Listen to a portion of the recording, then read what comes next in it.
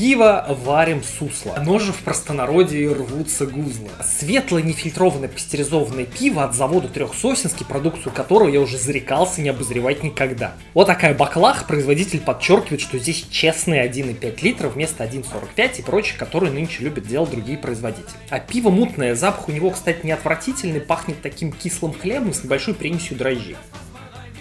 Очень гадкое, неприятно горькое, с довольно серьезными спиртовыми нотками, несмотря на то, что пиво светлое. И адовая пластмасса на послевкусие. Сейчас у меня во рту такое ощущение, как будто я вот секунду назад выпил ерша и блеванул. Причем ерш был из очень плохого пива и очень плохой водки. Никакой натуральности, душевности и легкости я не чувствую. Пиво довольно тяжелое, гадкое. Но суть по дрожжевому запаху и консистенции пить его можно только тем людям, которые живут одни. Потому что на утро вы дадите такой залп из туалета, что все живущие с вами просто разбегутся.